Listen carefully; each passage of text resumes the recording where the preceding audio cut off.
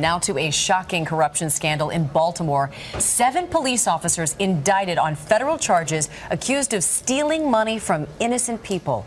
ABC's Linsey Davis joins us now with all of those details. Good morning, Linsey. Good morning, Amy. We've heard similar storylines before on the big screen and on primetime television. But now these real life officers have been charged with abusing their badges, of being corrupt to the core, allegations of extortion, falsifying police reports, and stealing from citizens.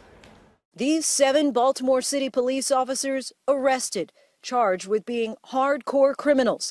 The allegations range from stealing from innocent citizens to robbing drug dealers of cash and guns, some even of selling heroin. These defendants allegedly were involved in stopping people who had not committed crimes uh, and uh, seizing their money, not only seizing their money, uh, but pocketing it. So these are really simply robberies by people who are wearing police uniforms. The alleged stealing from city residents was rampant, with amounts stolen ranging from $200 to $200,000. Prosecutors say the corruption included bogus search warrants, filing false police reports, and even putting in for thousands of dollars in overtime while on vacation. These officers, uh, they're 1930 style gangsters, as far as I'm concerned.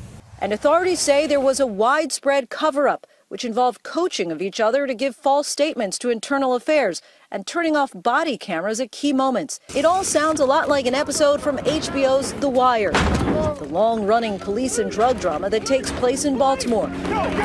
In this episode, officers stuff cash from a raid in their bulletproof vests. This morning, the seven officers are charged with racketeering. Some of the suspects face up to life in prison, others decades in jail. The majority of Baltimore City police officers are going to be really pleased today to see these charges brought against people who are accused of betraying their badges, of betraying their trust to the department. There was a year long operation in place to take these officers down. They were even wiretapped by the FBI. The U.S. attorney involved is calling this a major abuse of power. In some cases, they would just stop an ordinary citizen, hadn't been accused of doing anything, and they would steal their money from them. Wow. So blatant. Right, yeah. Okay, Linsey, thanks very much.